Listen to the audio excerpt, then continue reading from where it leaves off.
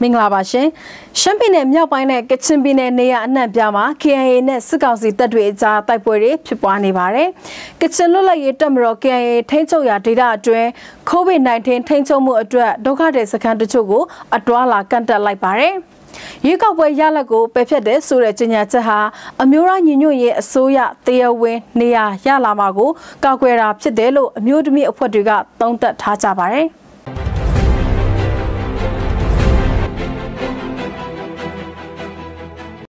ကချင်ပြည်နယ်နဲ့ရှမ်းပြည်နယ်မြောက်ပိုင်းနေရအနှံ့ပြားမှာစစ်ကောင်စီတပ်တွေနဲ့ကချင်လွတ်လပ်ရေးတပ်မတော် KIA တို့အကြားအခုရက်ပိုင်းအတွင်းစစ်တိုက်ဆိုသလိုတိုက်ပွဲတွေဖြစ်ပွားနေပါတယ်။ကချင်ပြည်နယ်ဝိုင်းမော်မိုးကောင်းဗမော်မြို့နယ်တွေမှာတိုက်ပွဲဖြစ်ပွားနေသလိုရှမ်းပြည်နယ်မြောက်ပိုင်းမူဆဲကုတ်ခိုင်နဲ့မုံကိုဒေသတို့မှာတိုက်ပွဲတွေဖြစ်ပွားနေတယ်လို့ KIO တာဝန်ရှိသူကပြောပါတယ်။မနေ့ကတော့ဟိုဝိုင်းမော်က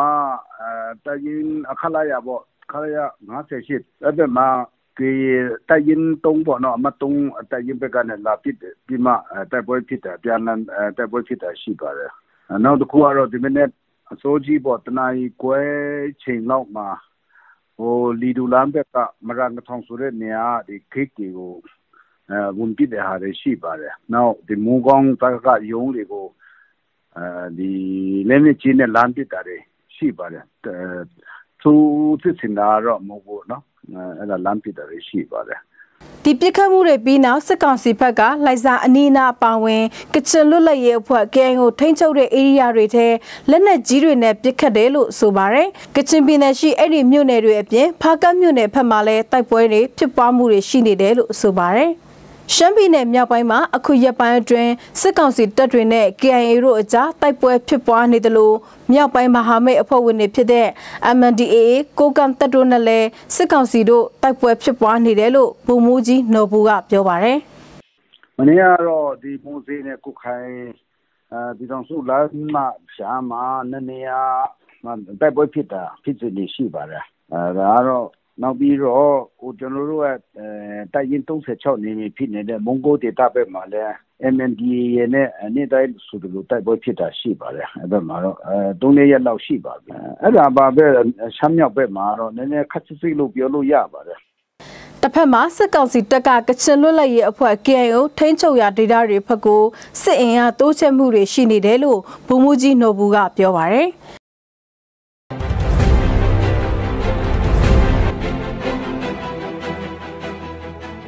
ကချင်လွတ်လပ်ရေးအဖွဲ့ KAO ထိန်းချုပ်နယ်မြေကျရန်စစ်ဆောင်စခန်းကအမျိုးသမီးတဦးစီက COVID-19 ပိုးတွေ့ရှိခဲ့ပြီးနောက်ကျရန်စစ်ဆောင်စခန်းနဲ့ဝေချန်စစ်ဆောင်စခန်းကိုဇွန်လ29ရက်နေ့ကစပြီးလော့ဒေါင်းချလိုက်ပြီလို့စစ်ပေးရှောင်တွေကပြောပါရယ်။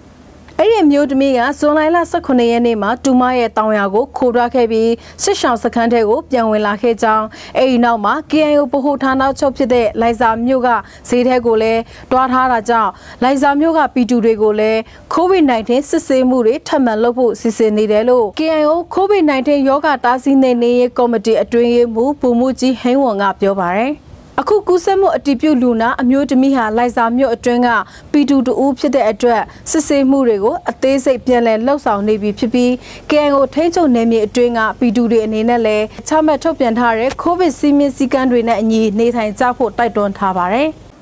စစ်ကောင်စီအာဏာသိမ်းမှုနဲ့ COVID-19 ရောဂါကူးစက်ပြန့်ပွားမှုကြောင့်ပြည်သူတွေပူပန်နေရတဲ့အတော်တွင်ရှမ်းပြည်ပြည်လဲထူထောင်ရေးကောင်စီ RCSS SSA နဲ့ရှမ်းပြည်တိုးတက်ရေးပါတီ SSPP SSA တို့တိုက်ပွဲဖြစ်ပွားနေတဲ့အပေါ်တိုက်ပွဲတွေရပ်တန့်ပေးဖို့ရှမ်းလူငယ်တွေကဇွန်လ23ရက်နေ့ကတောင်းဆိုလိုက်ပါတယ်။ စစ်ကောင်စီအာဏာသိမ်းတဲ့ကာလမှာပြည်သူအများအပြားဆန္ဒထုတ်ဖော်မှုတွေဖြစ်ခဲ့ပါတယ်။လူငယ်တွေစစ်ကောင်စီကိုပြန်လည်တိုက်ဖြတ်ခုခံနေတဲ့အတော်တွင်းမှာရှမ်းစစ်တပ်တွေကမကူညီပဲအချင်းချင်းတိုက်နေကြတယ်လို့ရှမ်းလူငယ်တွေကပြောကြပါတယ်။ ရှမ်းတပ်ဖွဲ့နှစ်တပ်ဖြစ်တဲ့ RCSS နဲ့ SSPP တို့ဟာ2020ရွေးကောက်ပွဲနောက်ပိုင်းဒီဇင်ဘာလမှာစတင်တိုက်ပွဲဖြစ်ပွားခဲ့ပါတယ်။စစ်ကောင်စီအာဏာသိမ်းတဲ့အတော်တွင်းမှာလည်းတိုက်ပွဲတွေဆက်လက်ဖြစ်ပွားနေပါတယ်။အခုလိုတိုက်ပွဲဖြစ်ပွားနေတာကြောင့်နန့်ခမ်းနမတူဒီဘောကြောက်မဲမိုင်းကိုင်းလဲချားနဲ့ဂျေဒီတွေမှာထောင်နဲ့ချီတဲ့ပြည်သူတွေစစ်ပေးရှောင်နေကြရပါတယ်။ဒီတရင်ကိုရှမ်းတန်တော်စင်တည်င်းဌာနကပေးပို့ထားတာဖြစ်ပါတယ်။ စစစ်ကောင်စီကအာဏာသိမ်းပြီးနောက်6လအတွင်းမှာ KNY အမျိုးသားတိုးတက်ရေးပါတီ KNPP ထိန်းချုပ်နယ်မြေတွေထဲကိုခိုလုံလာသူ3000ခန့်ရှိတယ်လို့ KNPP ကပြောပါတယ်။စစ်တပ်ကအာဏာသိမ်းပြီးနောက်ပြည်သူ့ကာကွယ်ရေးတပ်ဖွဲ့တွေဖွဲ့စည်းကာနေမြေကျူးကျော်လာတဲ့အကြမ်းဖက်စစ်ကောင်စီတပ်တို့နဲ့အပြန်လန်ပစ်ခတ်မှုတွေဖြစ်ပွားခဲ့ပြီးဘေးလို့ရာကိုထွက်ပြေးတိမ်းရှောင်နေရတဲ့ဒေသခံပြည်သူတွေအများအပြားရှိလာခဲ့ပါတယ်။ ထွက်ပြေးတိမ်းရှောင်နေရတဲ့လူထုတွေထဲမှာမှကီနီအမျိုးသားတွတ်တက်ရေးပါတီ KNPP ရဲ့ထိန်းချုပ်နယ်မြေထဲကို လာရောက်ခိုလုံတဲ့စစ်ပေးရှောင်ပီတူ3000ခန့်ရှိနေပြီလို့ကီနီအမျိုးသားတိုးတက်ရေးပါတီ KNPP ရဲ့အတွင်းရေးမှူးနဲ့ဦးအောင်ဆန်းမြင့်ကပြောပါရယ်လက်ရှိမှာကီနီအမျိုးသားတိုးတက်ရေးပါတီ KNPP ရဲ့ထိန်းချုပ်နယ်မြေထဲမှာရှိနေပြီးတက်ကြီးရွယ်အိုနဲ့ကလေးငယ်တွေအများစုပါဝင်တယ်လို့သိရပါရယ်အများအဖြစ်အစားအစာမိုးက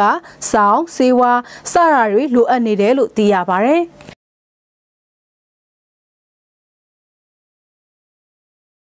2020ရွေးကောက်ပွဲရလဒ်ကိုပယ်ဖျက်ခြင်းကဒီမိုကရေစီအင်္ဂါရက်နဲ့စံနှုန်းတွေကိုတွေးဖယ်နေတဲ့အပြင်တရားမျှတမှုမရှိတဲ့အတွက်လက်ခံလို့မရကြောင်းရှမ်းတိုင်းရင်းသားများဒီမိုကရေစီအဖွဲ့ချုပ် SNLD ကပြောဆိုလိုက်ပါတယ်။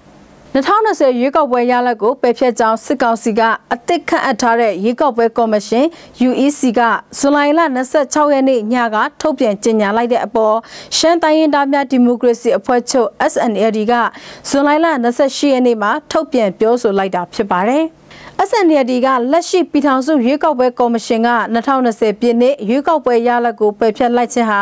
နိုင်ငံတော်စီမံအုပ်ချုပ်ရေးကောင်စီကိုယ်တိုင်စုပ်ကိုင်ထားတဲ့2008ခုနှစ်ဖွဲ့စည်းပုံအခြေခံဥပဒေပါပြဋ္ဌာန်းချက်တွေရွေးကောက်ပွဲဆိုင်ရာဥပဒေတွေနဲ့ဤဥပဒေတွေကိုစန့်ကျင်ကျော်လွန် ဆောင်ရွက်ရာရောက်တဲ့အပြင်ဒီလိုပယ်ဖြတ်ခြင်းက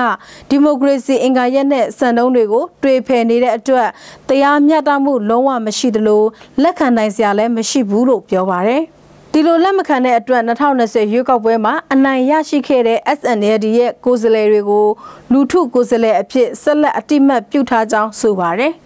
2020ရွေးကောက်ပွဲမှာရှမ်းတိုင်းရင်းသားများဒီမိုကရေစီအဖွဲ့ချုပ်အနေနဲ့42နေရာအနိုင်ရရှိခဲ့တဲ့အပြင်တနိုင်ငံလုံးအတိုင်းအတာနဲ့တားတရအများဆုံးအနိုင်ရရှိထားတဲ့ပါတီဖြစ်ပါတယ်။ပြီးခဲ့တဲ့2020ရွေးကောက်ပွဲကဖွဲ့စည်းပုံအခြေခံဥပဒေပြည်ထောင်စုရွေးကောက်ပွဲဥပဒေသက်ဆိုင်ရာလွှတ်တော်ရွေးကောက်ပွဲဥပဒေနီးဥပဒေတွေနဲ့ညီညွတ်မှုမရှိကြောင်းဒါကြောင့်ဒီရွေးကောက်ပွဲကရလာတဲ့ရလဒ်ကိုပယ်ဖျက်ရခြင်းဖြစ်တယ်လို့စစ်ကောင်စီကခန့်အပ်ထားတဲ့ UEC အတစ်ကဇွန်လလ26ရက်နေ့ကထုတ်ပြန်လိုက်ပါတယ်။ SNLD အနေနဲ့2020ပြည့်နှစ်ရွေးကောက်ပွဲမှာမဲစရင်မောင်းရမှုတွေတရားမဲ့ပြုကျင့်မှုတွေရှိနိုင်တယ်ဆိုပေမဲ့တနိုင်ငံလုံးအတိုင်းအတာအရထွက်ပေါ်လာတဲ့မဲရလက်ကအများစုသောပီတူလူထုရဲ့ဆန္ဒအမှန်ကိုကိုစားပြုတယ်လို့လက်ခံယုံကြည်တယ်လို့ဆိုပါတယ်။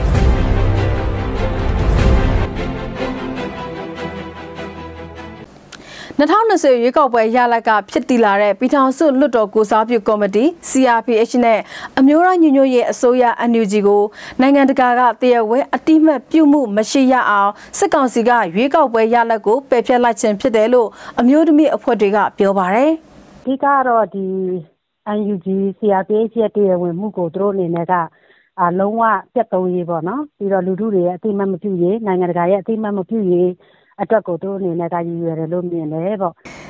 စစ်ကောင်စီကရွေးကောက်ပွဲရလက်ပဲဖျက်ရခြင်းကလာမဲ့စစ်တင်ဘာလမှာပြုလုပ်မယ်ကုလသမဂ္ဂအစည်းအဝေးမှာကုလသမဂ္ဂကဘယ်အဖွဲ့ကိုအစိုးရအဖြစ်အတိမတ်ပြုမယ်မပြုဘူးဆိုတာနဲ့လည်းဆက်ဆက်မှုရှိနိုင်တယ်လို့ပြောပါတယ်စစ်ကောင်စီရဲ့အခုလုပ်ရဟာအရင်စစ်အာဏာရှင်အစိုးရအဆက်ဆက်ကစစ်အာဏာရှင်စနစ်ရေရှည်တည်မြဲဖို့လှုံ့ဆော်မှုမျိုးနဲ့ပုံစံတူတယ်လို့ WLB ရဲ့အထွေထွေအတွင်းရေးမှူးကဆိုပါတယ် ဒီစစ်တပ်ကကျမတို့ဒီလက်ရှိအခင်းကြီးပုံမှာပဲကျမတို့ကြည်ရမှာမဟုတ်ဘူးပေါ့နော်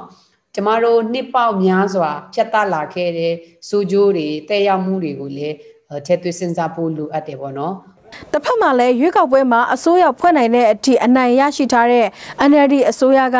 CRPH NUG ကတဆင့်လူထုကိုဆက်လက်ဦးဆောင်မှုပေးနေတဲ့ဖြစ်တည်မှုကိုစစ်ကောင်စီကရိုက်ချိုးလိုတဲ့သဘောအဖြစ်တွေ့ရတယ်လို့ဆိုပါတယ် ပြီးခဲ့တဲ့2020ခုနှစ်နိုဝင်ဘာလ10ရက်နေ့ကကျင်းပခဲ့တဲ့အထွေထွေရွေးကောက်ပွဲမှာအမျိုးသားဒီမိုကရေစီအဖွဲ့ချုပ် NLD ကမဲအတာနဲ့အစိုးရဖွဲ့နိုင်တဲ့အထိအနိုင်ရခဲ့တယ်လို့တိုင်းရင်းသားနိုင်ငံရေးပါတီတချို့တွေမှာလည်းအနိုင်ရခဲ့ကြပါတယ်။ ဒီရွေးကောက်ပွဲရလက်ကမဲမတမာမှုတွေရှိတယ်လို့ဆိုပြီးစစ်တပ်ကဖေဖိုင်လာတရက်နေ့မှာစစ်အာဏာသိမ်းခဲ့တဲ့အပြင်ရွေးကောက်ပွဲကော်မရှင်အတစ်ကိုပါဖွဲ့စည်းပေးခဲ့ပြီးနှစ်နှစ်အကြာမှာရွေးကောက်ပွဲပြန်လည်ကျင်းပမယ်လို့ပြောထားပါတယ်။ဒီပြောဆိုမှုပေါ်ကချင်အမျိုးသမီးအစည်းအရုံးထိုင်းနိုင်ငံ KWAT ပြောရေးဆိုခွင့်ရှိသူမွန်းနေလီကအခုလိုပြောပါတယ်။ဒီမိုကရေစီလမ်းကြောင်းဆိုပြီးတော့သူတို့ကဒီအဲဘယ်လိုပြောမလဲ အဲရွေးကောက်ပွဲတွေလုပ်ပေးခဲ့တယ်2010တို့2015တို့ပြီးလို့ရှိရင်ဒီဘယ်လိုပြောမလဲအခုပြီးခဲ့တဲ့ဒီ2020ပေါ့နော်ဒီရွေးကောက်ပွဲတွေသူတို့ကဖန်တီးပေးခဲ့တယ်ဒါကတော့ဟန်ပြဒီနိုင်ငံတကာကိုပြဖို့အတွက်သူတို့လုပ်ခဲ့တယ်ဒါပေမဲ့သူတို့ရဲ့ကြိတ်ပြီးတော့ကြံနေတဲ့အရာကတော့ဟိုအရင်ကတည်းကသူတို့ရှိနေတဲ့ဟာရှိတယ်လို့မြင်တယ်ဒါကြောင့်မို့အခုဒီ အဲသူတို့ကလည်းသူတို့ရဲ့လှုပ်ဆောင်မှုတွေအဲဆက်ပြီးတော့လုပ်နေတယ်ပြီးလို့ရှိရင်ဒါတွေကိုပေဖြတ်တယ်ဆိုတဲ့ဟာကိုလုပ်တယ်ရွေးကောက်ပွဲပြန်လည်ကျင်းပမယ်ဆိုတဲ့စစ်ကောင်စီရဲ့ပြောဆိုမှုကိုတတိထားဖို့လိုတယ်လို့နော်ဆဆဲကဆိုပါတယ်တိထပြီးသားဒီစစ်တပ်ရဲ့လမ်းကြောင်းကိုကျမတို့မပါသွားဖို့ကတော့အရေးကြီးတယ်ပေါ့နော်။အဲဆိုတော့ဒီစစ်တပ်ကဘလို့ပဲသူတို့အကောင်းမဲ့အကောင်းမဲ့လမ်းကြောင်းကိုစဉ်းစားစဉ်းစား အဲသူတို့ရဲ့ရုပ်မှမှုကရုပ်မှမှုပဲကဘာမှာတီးကုန်ပြီပေါ့နော်ဆိုတော့ကိုသွားပါဝေပတ်သက်ခြင်းအဖြစ်ကိုပါဟိုဟာအဲတရခါဖြစ်သွားနိုင်တယ်ပေါ့နော်ဆိုတော့ဟာမျိုးကိုကျမကတော့ တတိပေးစီတတိထားစီခြင်းနေပေါ့နော်အထူးသဖြင့်နိုင်ငံရေးပါတီတွေပေါ့နော်ပြီးခဲ့တဲ့2020ရွေးကောက်ပွဲကဖွဲ့စည်းပုံအခြေခံဥပဒေပြည်ထောင်စုရွေးကောက်ပွဲဥပဒေသက်ဆိုင်ရာလွတ်တော်ရွေးကောက်ပွဲဥပဒေ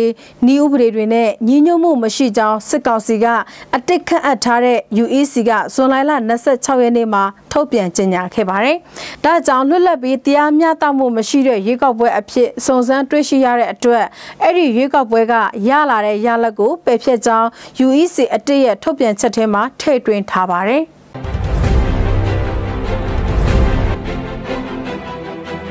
အစီအစဉ်ကိုကြည့်ရှုအားပေးနေတဲ့မိဘဗီဒီယိုပေါင်းရွှင်လန်းချမ်းမြေကြပါစေရှင်နောက်တစ်ပတ်ဒီလိုချိန်မှာစောင့်မျှော်ကြည့်ရှုကြဖို့တိုက်တွန်းရင်ဒီတစ်ပတ်စီစဉ်ကိုရန်နာခွင့်ပြုပါရှင်။